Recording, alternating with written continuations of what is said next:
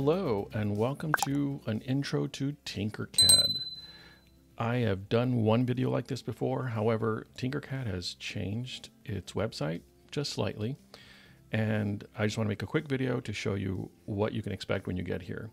So if you click on login, even if you don't have an account, you're going to have some options here. So personal account, student accounts, students with class code, and educators. If you clicked on login and you get an error message or it's blocked, there's a good chance your school has blocked Tinkercad. And the only way you can do it, if they allow it at all, is for you to click on another button. And that would be that would be going through a link. So kind of like this right here. I have a Google Classroom set up with the link.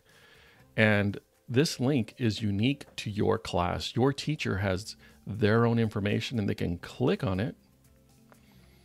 And if your teacher is giving you a nickname to use, then you can log in with that nickname and no none of your personal information will go into the the software here unless they have it set up another way but this is usually the way that uh, teachers have set it up so that you can go in if it is blocked However, let's imagine that it's not blocked and here you go.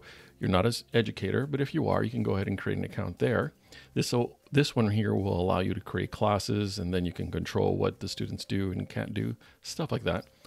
if the teacher has posted a class code, then this is the one you want and you just type in the code that's in the front of the class. And then students with an account. Okay. So you can create a personal account if you're not with the classroom.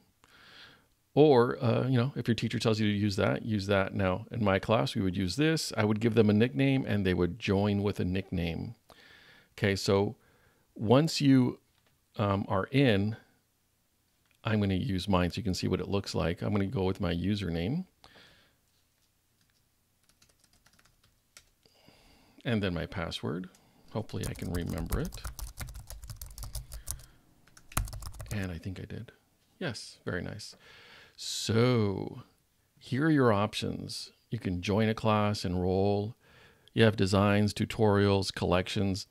If you've never done Tinkercad, you have a choice. You could just go with the tutorials and it'll walk you through some crazy stuff if you're not ready for it. Now, the designs, you have some options. I've already created a bunch of junk in here. So if this is your first time, you will just have, I believe, four blocks here.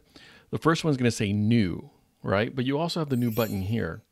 When you click a new button here, it's for 3D designs. Now, if you're into circuits, you can click here and just start, you know, playing with what they have, or code blocks, which is another way of creating things in, with Tinkercad. You can click here again for your new one, or click here, which is going to give you the same three options. Now, if you want to explore some, the gallery is going to show you other things that students have created and posted to Tinkercad for you to look at and even download. Make sure that your parents or teachers allow you to print stuff that you've downloaded in my class. You can only print stuff that you have designed. Here are some projects where they challenge you to do certain things and create them and then see if you can get the same results. Some very interesting projects here. And of course, if you have a classroom, you want to join a class, your teacher's giving you the information, then there you go. You can do that. I have my classrooms here, and of course, resources, tips and tricks, blogs, lesson plans, all that stuff.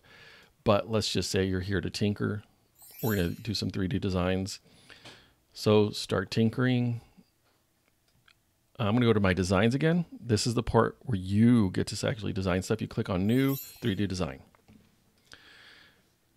Now, once here, this is your shapes library. These are the basic shapes, and you have a variety of other shapes. Feel free to click on any of those and see what you can do. Now, no matter what you choose, you're just going to click and drag it onto the platform here. And whenever you are done, you're going to export as an STL. And then for me, I have I it asked me where I want to save it. Usually in in some computers, it'll just save it to your downloads file and it'll give you a little sign right here with the name of the project, which is right here, and then a little arrow. if you click the little arrow, it will actually show you.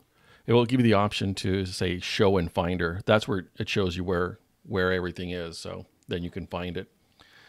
Um, send to. Let's say that you want to send it to a teacher and say, "Hey, can you look at what I've done?" You want to invite people. Again, let me go here because it's send to. Scroll down to the bottom, invite people. Going to generate a new link. You're going to copy that link, and then you're going to open up your email and paste that link. Okay. There are other tutorials that show you all the other things that uh, Tinkercad can do. I recommend you watch that one. And uh, yeah, those have not been changed. So I hope you enjoy playing with Tinkercad.